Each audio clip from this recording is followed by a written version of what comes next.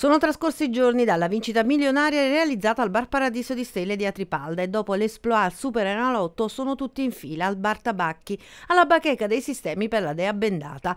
Dei milionari nessuna traccia, dei sei fortunati che hanno vinto ognuno 4 milioni e 100 mila euro come dichiarato Mario Coppola che insieme al figlio Armando gestisce il Paradiso di Stelle. Uno che si ricordi, magari qualche cliente più abituale degli altri, eh. a me farebbe piacere, un fiore, un qualcosa di simile, anche oltre il fiore pure, non è che stiamo qua, non, non, ci tiriamo indietro per queste cose.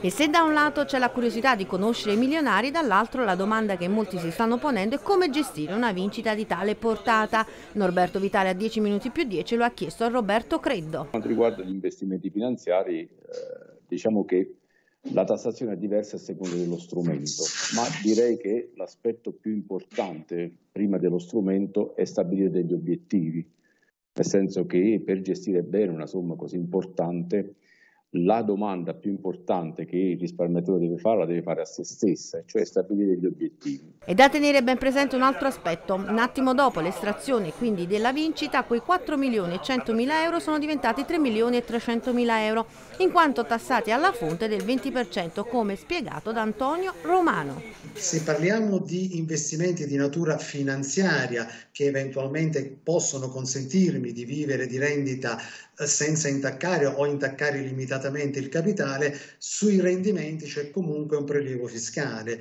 ed è un prelievo normalmente alla fonte eh, nella misura del 26%.